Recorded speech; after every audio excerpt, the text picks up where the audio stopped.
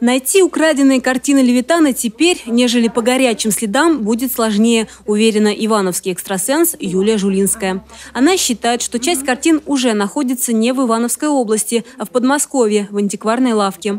То есть их не показывают, и они где-то в каком-то подвальном помещении, то есть они где-то ниже, то есть они не стоят вот где вот общая да, комната там.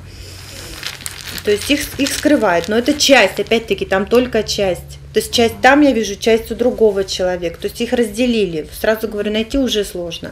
В Плесский музей доступ экстрасенсу не дали. Юлия уверяет, если бы она попала внутрь, то смогла получить больше информации, а сканировать с улицы очень сложно.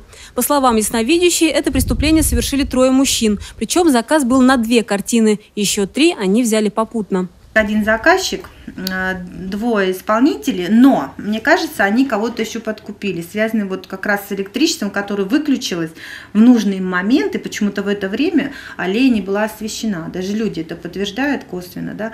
А, и, собственно, этот человек уже знал, куда картины, хотя бы часть уже продал, и, скорее всего, уже они проданы, то есть, возможно, две, вот, или одна, одна-то точно, ну, думаю, вторая тоже, но они ближе туда, в Москву ушли, то есть, в ту сторону, то есть, я вижу, что они разделились, как бы, вот. Но он живет недалеко от Плеса. Сам человек находится, который все это организовал. И там, где они все находились, это недалеко от Плеса. Я даже дала вот э, какую-то ориентацию, вот в интернете выложила, что ко мне Левитан, когда пришел, он меня просто пронес вот от этого дома вот туда-назад, в сторону Москвы, вот чуть-чуть пронес и показал вот это за этим холмом, там деревня.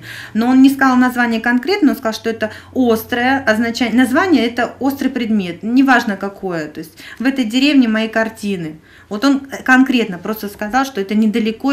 Юлия Жулинская сделала предположение, что преступники уходили не по воде, и полиция с ними разминулась совсем немного. Человек, который замешан в этом был, э, находился в плесе, и в это время в темноте они просто спокойно туда вошли и затихли как бы. Это вполне вероятно, то есть они никуда, возможно, даже не ездили, не перебирались, пока вся эта шумиха не уложилась и так далее. Юлия привыкла работать руками, но иногда для подтверждения своих мыслей использует маятник или руны.